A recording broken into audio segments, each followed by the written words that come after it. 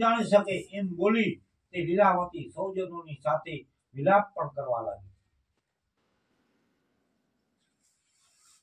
પછી લીલાવતી પોતાની કન્યાને ખોળામાં લઈને રુદન પણ કરવા માંડી. પછી પતિ નાશ પામ્યો છે.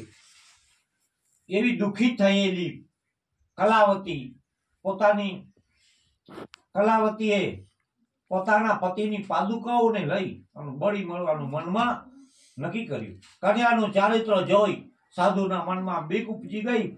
તે ઘણો શોક કરી સંતાપ પામતો વિચાર કરવા લાગ્યો કે મારો જમાઈ અને ધન સત્યનારાયણે હરણ કર્યું છે. અથવા તો સત્યનારાયણની માયાએ કરી અને મને આ ભોગ પણ થયું છે. મારા વૈભવ પ્રમાણે હું